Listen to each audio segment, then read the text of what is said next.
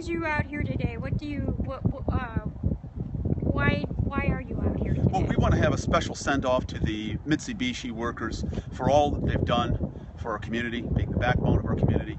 And so we're here to say thank you so much and we wish you the best. We're still working very hard to try to get someone to come into the plant. We're working hard, you know, not literally around the clock, but almost.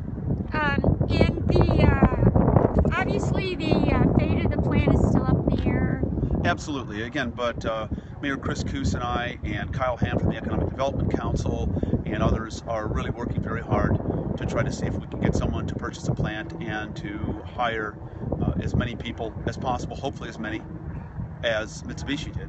What will the loss of this plant mean to uh, the municipalities uh, of Normal and Bloomington? Well, it's going to depend on whether or not we can get someone back in here in short order, and I, I am optimistic about that.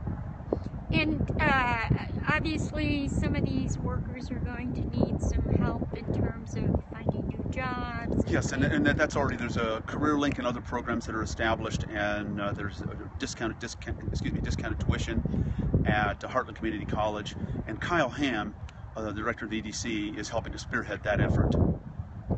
Okay, and the um, uh, obviously it's a tremendous number of loss of jobs. Yes, it's 1,300 for the entire region. Uh, that's somewhere around 400, 300 to 400 in the city of Bloomington. A little smaller number than that in the town of Normal, but absolutely it is. And so that's why we're, we're going to do anything we possibly can to get someone else in here as soon as possible. So, uh, when was the last time you had that kind of a number of uh, people laid off in the community? Uh, I don't know that we've ever had that. Certainly in my my time here, living here, or in the past.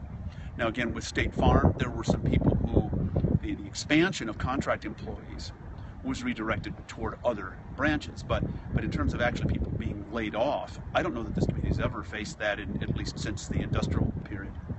And if you were trying to sell this plant to a prospective buyer, what would you say about it? It's got a great location, and we've got you're right near multiple interstates. You're not far from uh, Chicago, not far from St. Louis. You've got rail access here, and that's really huge. And it's a, a very, very large plant that is very adaptable inside. And in fact, those have been the talking points that we made in talking with prospective buyers.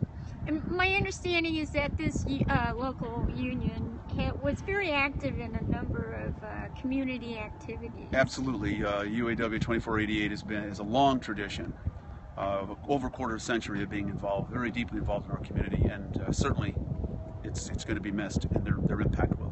And what would be the impact uh, that the city might be feeling um, in terms of services or what whatnot um, with all these people being laid off? You said like 400 at least in the community of Bloomington. It would be somewhere. It could be somewhere to 300 to 400. Some people have actually uh, already obtained uh, employment.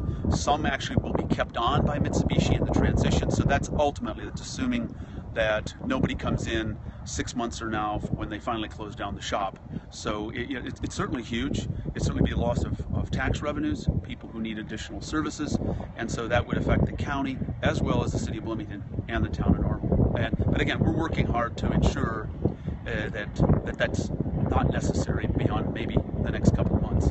Oh, and can you just explain uh, what was the arrangement on the uh, property taxes collected out here? Does Bloomington get a portion of that, or no? No, it's uh, I, I, it's at this point I forgot the exact amount, but uh, most of the money goes to District 80, excuse me, uh, Unit 5, and then the town of Normal, and they are applying to have the taxes lowered and, and reassessed in light of the, the plant closure.